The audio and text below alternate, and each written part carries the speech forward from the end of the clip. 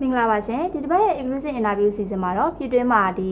စစ်တူရင်ချန်ပီယံဖြစ်ရှစ်ကြိမ်မြောက်ပူဆွဲနေတယ်လို့ပြပပြိုင်ပွဲတွေမှာလည်းနိုင်ပွဲတွေရရှိထားတဲ့ဒီစစ်တူရင်ချန်ပီယံကိုဝင်းစော်ထုံးကို exclusive interview နဲ့မေးမြန်းသွားမှာဖြစ်ပါတယ်သူမေးမြန်းသွားမှာကတော့ဒီစစ်တူရင်ချန်ပီယံဖြစ်သူရောက်ရှိလာတဲ့အခြေအနေတွေပြီးတော့စစ်တူရင်အားကစားကိုနိုင်ငံတော်ဘိုင်းကပံ့ပိုးပေးမှုလိုအပ်နေတဲ့အပိုင်းတွေကိုမေးမြန်းပေးသွားမှာဖြစ်ပါတယ်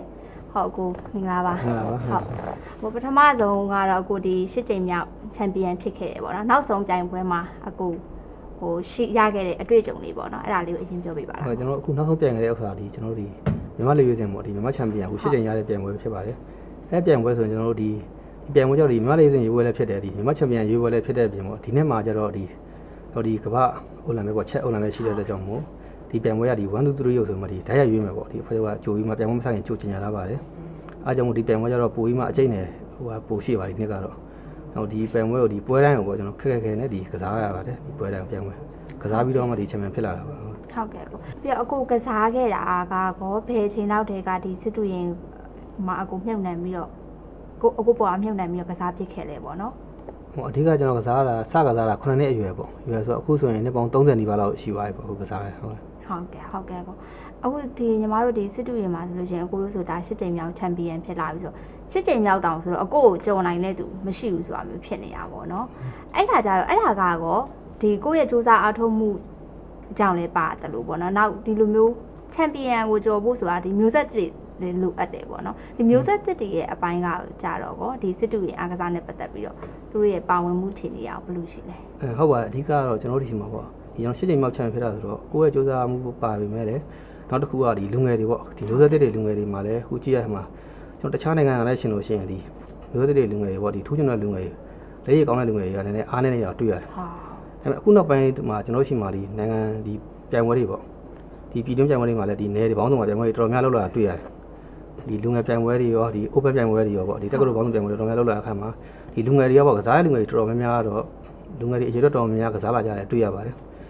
တွေ့ရတယ်မှာဟိုအဲ့ဒီထဲမှာနည်းနည်းတစ်ခုအားနေတာတော့တချို့လူငယ်တွေမှာပေါ့တွေ့ရတာဒီပြိုင်ပွဲမှာပေါ့ဒီကိုအနိုင်ရမယ်အနိုင်ရကျင်တဲ့စိတ်ဓာတ်ပေါ့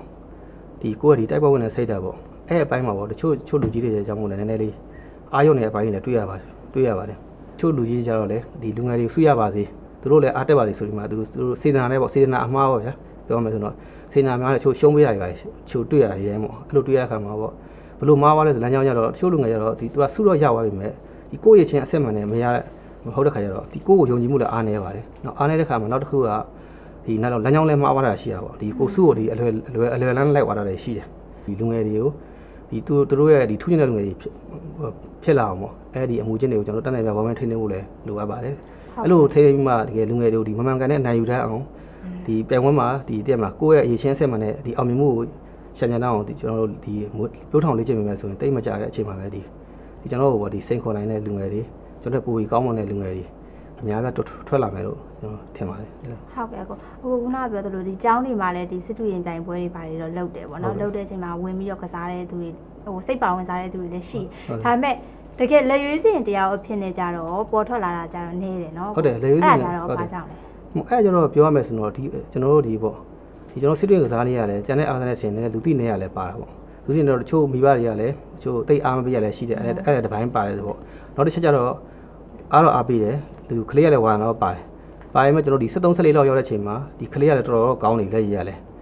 တိတ်မကြခင်မှာသူညီမလေးရဲ့အဆင်းတော့ပေါ့သူရောက်ဖို့ရှိတယ်ဟုတ်ဟုတ်ဒါပေမဲ့အဲ့ချိန်မှာကျွန်တော်ဒီကျွန်တော်တို့ချိန်မှာကျတော့ဒီ6တန်း10တန်းရောက်သွားလည်းရှိတယ်ရောက်သွားတော့ဒီမိဘတွေကဒီကလေးကိုဒီပညာရေးအတွက်ဆောင်မှဒီချက်ကိုနားကနားကိုင်းရတယ်ရှိတယ်ရှိပြီးတော့မှသူ10တန်းအောက်ပြီးတော့မှပြန်ထုတ်ခိုင်းတာရှိတဲ့ခါမှာတချို့လူငယ်ကြတော့လေ ဒီချက်လောက်ကလည်းပြန်မရောက်ရင်လည်းမရောက်တော့ဘူးတချို့ကြောက်လည်းဒီအပျော်ပိုင်းဖြစ်ဝင်ဖြစ်သွားတာပေါ့အဲ့ဒါအပိုင်းလည်းရှိတာပေါ့ကျွန်တော်ခုနကတော့အရေးကြီးဆုံးချက်ကတော့ခုနကပေါ့လက်ရှိထိုးနေတဲ့လူငယ်တွေမှာလည်းဒီခုနကပေါ့ဒီကိုဒီအနိုင်ရလို့စိပြင်ပြမှုပေါ့ကိုယ့်ရဲ့အရေးချင်းအစ်စ်မှန်နဲ့ရဖို့ဒီကြိုးအောင်မြင်မှုကိုဟိုရှာဖို့ပေါ့အဲစိတ်ကိုလည်းတကယ်အဓိကလည်းလိုအပ်ပါတယ်အဲအဓိကကိုကျွန်တော်တို့လူကြီးတွေနဲ့ဒီသူတို့ဟိုဒီမမှန်ကန်ဟိုကျွန်တော်လမ်းကြောင်းပြပေးနိုင်မယ်ဆိုရင်လူငယ်တွေကတိတ်မကြခင်ပါပဲဒီကျွန်တော်တို့များလည်းရေးစဉ်အဆင့်ဒီနိုင်ငံတကာကိုအဆင့်တွေကိုရောက်ရှိလာမှာပါ ဟုတ်အခုတို့ပြိုင်ပွဲတွေလုပ်လို့ရှိရင်ငေါတိတ်ဒီစစ်တူအားကစားနဲ့ပတ်သက်ပြီးဝင်ရောက်ကစားတဲ့သူကဘယ်လောက်လောက်ရှိလဲပြန်ပွဲတစ်ခါတစ်တစ်ခါခါတစ်ခါဆိုရင်တော့ဟိုပါပွဲတွေတော့မတူဘူးပေါ့ဒီလူငယ်ပွဲဆိုတဲ့လူငယ်လာပေါ့ဒီဒီကျွန်တော် open ဆိုရင်တော့အများကြီးရှိတာပေါ့ open ဆိုရင်အနည်းဆုံးတော့ရာကျော်တယ်တချို့ဟိုတစ်ခါဆိုရင်လည်းဒီဟိုပြန်မလို့ပြန်မနာမလောက်ရတဲ့ပွဲဆိုရင်လည်းဒီဒူပေါင်း200ကျော်သွားတယ်ပေါ့အဲ့လိုပွဲရတော့100ကျော်200ကျော်ပေါ့အဲ့လိုတွေဒီဒီ open ပွဲဆိုရင်တော့အဲ့လိုရှိပါတယ်ပေါ့ဟုတ်အဲ့လိုမျိုးဒီစိတ်ဝင်စားတဲ့သူကတော့ရှိရဲဒါပေရှိမဲ့ပါပံပိုးပေးမှုအားနေတဲ့ခါကျတော့ဒီလက်ရွေးစင် တယောက်အဖြစ်ဒီအာကစားသမားစစ်တွေအာကစားသမားတယောက်အဖြစ်ပေါ်ထွက်ဖို့ကြတော့နေတာပေါ့နော်ဟုတ်တယ်ပေါ့ကျွန်တော်တို့အဓိကဒီပေါ့ကျွန်တော်တို့ဒီစိတ်တော်များတယ်ဒီဝါနာအရင်ခံပြီးကစားရတယ်အဓိကများတာပေါ့အရင်တော့ဆိုဒီတော်တော်များများဆိုရင်တချို့ဆိုဒီစစ်တွေ့ရင်ကိုပေါ့ဒီကြားကစားကြီးနဲ့မကွဲလူတော့တော်တော်များတယ်ဒီအားကစားတစ်ခုတော့ချို့တော့မသိတဲ့လူလည်းတော်တော်များတယ်ပေါ့အခုနောက်ပိုင်းမှာပွဲကြီးလောက်လာတော့တော်တော်များသိတာတယ်ဒါပေမဲ့သိလာပြီမဲ့ဒီပေါ့ကျွန်တော်တို့ဒီစစ်တွေ့ရင်နဲ့အဓိကပေါ့ဒီဘဝရတုမှုပေါင်းကြတော့ဒီစစ်တွေ့ရင်နဲ့တော့ရက်တီလို့မရသေးဘူးပေါ့အားနည်းနေမှုပိုင်းတွေတော့ရှိသေးတာပေါ့ အဲဆိုအဲချို့ကြတော့အဲကြောင့်မို့လဲဒီနိုင်ငံတော်အနေနဲ့လည်းချို့အားပေးမှုပိုင်းတွေတော့နည်းနည်းအားနေတဲ့အပိုင်းလည်းရှိပါတယ်ဒါပေမဲ့ကျွန်တော်တို့ကလည်းပြောရမယ်ဆိုရင်လေဒီကဘာမှာလည်းဒီစစ်တွေရတခြားအားနဲ့ရှင်လို့ရှိရင်နည်းနည်းအားနေတဲ့စကားကြီးလည်းဖြစ်တာဟုတ်ဒီကလည်းလူတိနည်းနည်းနေရလည်းပါတော့ဟုတ်ဟုတ်ကဲ့ဒီကဒီဟာကြကတော့ညံသုံးပြီးတော့ကစားရတဲ့အားကစားနေပေါ့နော်ဒါပေမဲ့ဒီအားပေးမှုကြတော့အားနေတယ်ပေါ့နော်ဟုတ်အဲ့တော့ဒီလိုအခုဒီချန်ပီယံတယောက်အနေနဲ့ဆိုတော့ဒီအားကစားကိုဘယ်လောက်ထိအားပေးတင်လဲပေါ့နော်ဒီအားကစားကကောဘယ်လောက်ထိလူရဲ့ ပင်ပင်ကိုကိုယ့်ရဲ့ကိုယ်သိကိုတက်စီလဲပေါ့နော်ဟိုအဓိကအားပေးဖို့နေရဆိုတော့လေဒီလိုပေါ့ဒီစစ်တွေရင်ကိုအားပေးဖို့ဆိုရင်ဒီအားပေးတဲ့လူကိုယ်တိုင်ကလည်းဒီစစ်တွေကစားနေကိုသူကသူထိုက်အထိုက်လောက်သူကတက်ကြွမှရမှာဟုတ်နောက်ပြီးကျွန်တော်တို့ဒီကျွန်တော်ဘောလုံးဥပမာဆိုရင်ဘောလုံးနဲ့မတူဘူးပေါ့ဘောလုံးရတော့သူတို့ဒီအားပေးလူတွေကလည်းဒီအော်ဟက်အားပေးလို့ရတယ်နောက်ပြီးဘယ်ဘက်ကိုဂိုးဝင်ဘယ်ဘက်ကဘလူးနိုင်တယ်ဆိုတာသိရပေါ့ဒီစစ်တွေရတော့သူကဒီလိုအားပေးလို့ကိုယ်ကိုယ်တိုင်ကဒီစစ်တွေအကြောင်းကိုတခြားမတက်ဘူးဆိုရင်သူကအားပေးလို့လည်းမရဘူးမရတဲ့ခါကျတော့သူတို့အနေနဲ့ကျတော့ဒီတက်ဖို့ကျတော့လေအဲကြောင့်မို့လဲဒီအားပေးဖို့နေရာကလည်းပါတာပေါ့ နောက်တစ်ခုကဒီစစ်တင်ကိုအားပေးရဲ့အကြောင်းရဲ့ဘာတွေဖြစ်လဲဆိုရင်ကျွန်တော်တို့ဒီအခုနောက်ပိုင်းဆိုနိုင်ငံတကာမှာဆိုတချို့နိုင်ငံဆိုထူးခြားအားပေးနိုင်ငံတွေရှိတယ်ဟုတ်ကဲ့ဟုတ်သူတို့ကျောင်းတွေမှာလည်းတင်တာရှိတယ်အဓိကကဒီလူငယ်တွေပေါ့ဒီကျွန်တော်တို့ဒီစစ်တင်အားစားခြင်းပဲဘာဖြစ်လဲဆိုဒီစိတ်တည်ငြိမ်မှုရရှိစေတာပေါ့အဓိကအာယုံစူးစိုက်မှုဘာပဲလုပ်လို့ဒီအာယုံစူးစိုက်ပြီးမှသူကလေ့ကစားရတာကိုကစားတဲ့ခါကျတော့အာယုံစူးစိုက်မှုကောင်းစေတယ်သူကကစားနေနောက်တစ်ခုကဒီစစ်တင်ကစားမယ်ဆိုရင်ကျွန်တော်တို့ဒီဘာပဲကစားကစားကိုကကိုမစားခင်နဲ့ချုပ်ပြီးမှပြင်ဆင်ရတယ် ကိုကစားမဲ့အကွက်တွေပြင်ဆင်ရတယ်တစ်ဖက်ကလာနိုင်တဲ့အကွက်တွေကိုဘယ်လိုတုံ့ပြန်မလဲကိုကပြင်ဆင်ရတယ်အဲ့ဒီကျိုးနေပြင်ဆင်မှုအပိုင်းမှာလည်းသူကအများအားလုပ်နေရတယ်ဆိုတော့သူဘာပဲလုပ်လို့ဆိုတော့ကျိုးနေပြင်ဆင်တဲ့အကျင့်ကောင်းတွေလည်းရရှိစေတယ်နောက်ပြီးတော့ဖြတ်ထုံးညံ့ပေါ့ဟုတ်ကဲ့နောက်ကိုကဒီပြန်ဝဲပြန်ဝဲကစားတဲ့ခါမှာရုပ်တရက်ကိုကကြုံတွေ့လာတဲ့ပြဿနာတွေလည်းတွေ့ရတယ်အခက်အခဲလည်းတွေ့ရတယ်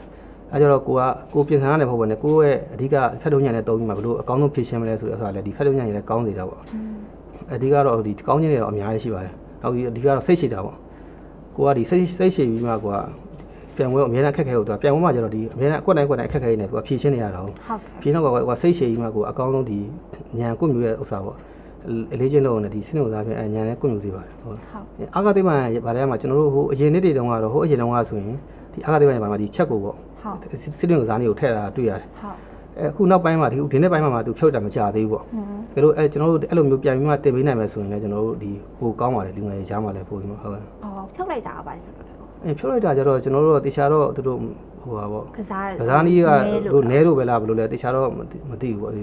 ဖြုတ်တာလည်းမကြသေးဘူးလို့တော့သိရပါတယ်ဟုတ်ကဲ့အဲဒါကျတော့အော်အရင်တော့အကတိမှန်ကျွန်တော်တို့ဒီထည့်တယ်ဆိုရင်ဒီကျောင်းထဲမှာထည့်တယ်ဆိုရင်တကယ်ကစားနည်းတွေကလည်းခုနကလူငယ်တွေကဒီကောင်းတဲ့လူတွေအများကြီးတည်းမှာမှဟိုဟာဒီထက်ကောင်းဖို့ဆိုရင်တော့တဲ့တဲ့မှာသူကမလွယ်ဘူးလေတဲ့မှာထက်ကောင်းလာပြီဆိုလည်းအဲကောင်းတဲ့လူကြတော့လေတကယ်ကျွန်တော်ဒထောင်မီဖြစ်လာတဲ့သဘောပေါ့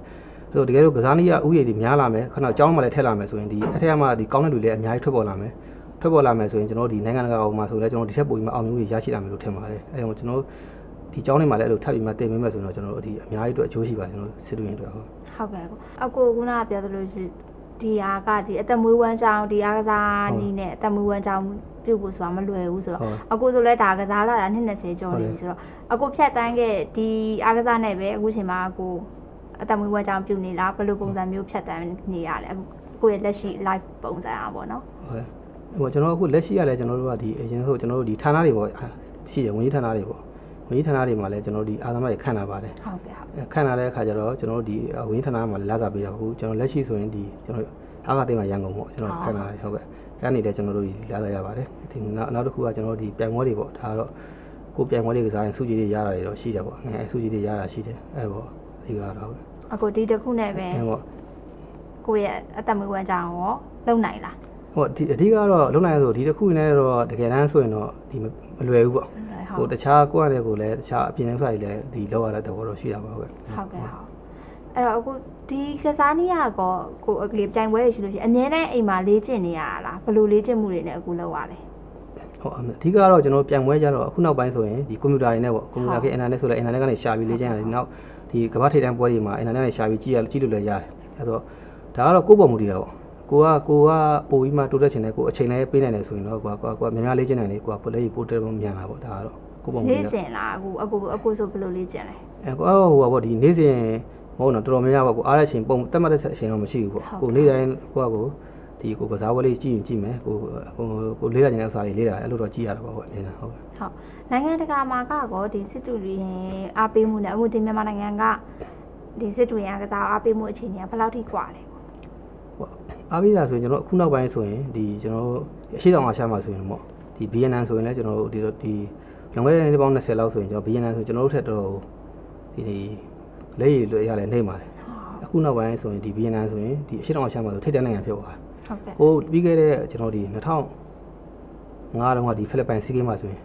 ဒီစီးဂိမ်းဆိုရင်သူကရွှေ10ခုပေးတာပေါ့ဗီယက်နမ်ကပဲ10ခုလုံးရပါရှိတယ်အဲ့လိုပေါ့သူကတိုးတက်မှုအရမ်းမြန်သွားတာပေါ့သူတို့ကလည်းဒီခုနလိုပေါ့သူတို့ကလည်း ဒီ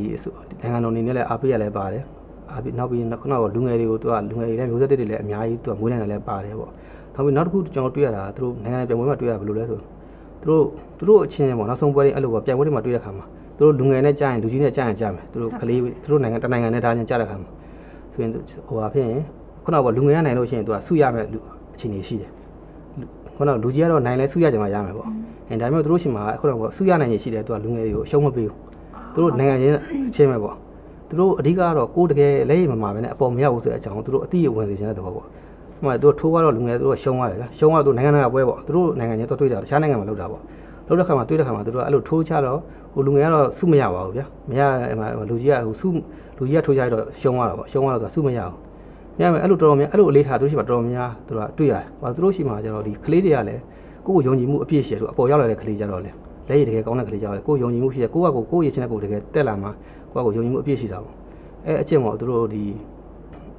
သူတို့ဟိုဟာပေါ့လူလူကြီးတွေကလို့ပေးတဲ့အကျင့်တွေပါရင်အဲ့လိုမရှိဘူးသူတို့ရှိမှာလည်းတော့အာသူတို့ကိုယ့်ကိုယုံကြည်မှုရှိရမယ်ကိုယ်တကယ်ကောင်းမှတက်မယ်ဆိုရအလေးထားပေါ့